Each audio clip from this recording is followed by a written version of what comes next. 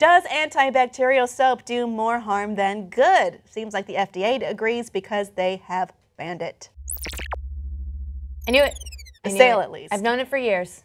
So uh, this was it. at first uh, announced in 2013, and they had three. The FDA gave soap companies three years to either prove their claims or stop doing it.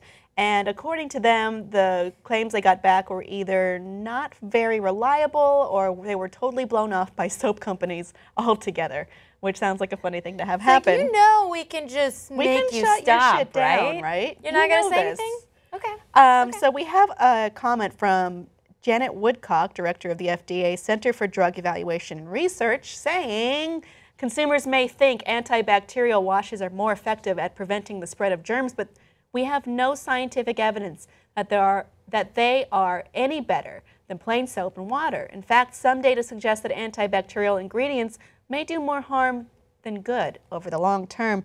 Um, yes, there is some research that indicates that using subfatal amounts of triclosan on uh, these bacterias uh, causes them to not die and, in fact, get stronger. This can affect your gut bacteria, which is something related to your gastrointestinal health and even beyond. And that's if you lick the soap off your hands instead of rinsing. Um, well, uh, it's also like for the antibacterial. yes, Becca, you should do Okay, that. because I've been doing that for years and it, doesn't, doesn't seem to be work? working. No. Oh, they say like for it to be effective, you need to have a higher concentration that it's available, and you need it to be on your hands longer than it takes to wash your hands. So in effect, it's not really following through on the claim at all. I actually looked up what regular soap and water does because I was like, oh, okay, How so does soap work? antibacterial uh, kills germs, whereas regular soap and water, what does that do and what's different? So what happens is it actually the soap lifts the dirt off your hand a little bit, so it can be rinsed away more easily when you wash your hands.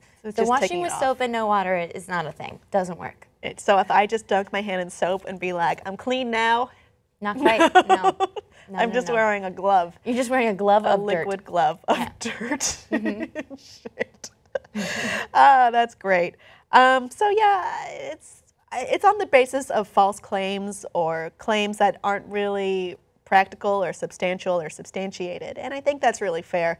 Uh, it's not a great idea, I suppose. It doesn't mean stop washing your damn hands. It just means that the antibacterial, antimicrobial soaps don't do exactly what they say they do, and they're no better than regular soap, so just use regular soap and don't make false claims. I'm just going to throw in that hand sanitizer does the same thing. And this Mm-hmm. is something I've been scared of for years because of some article I read years ago that every time we use something antibacterial, we're actually allowing these super bacteria to grow because it has to evolve so that it can continue to live because we're killing it off partially. Well, that may be very much in line with the sub-fatal levels of uh, triclosan, though it might not necessarily be triclosan in those antibacterial hand sanitizers. But it's, uh, you know, if it's not a fatal amount of that chemical, it's not going to hurt them. It's going to make them stronger because that adage applies to germs as well. What doesn't kill you makes you stronger and makes you sicker. Maybe, potentially.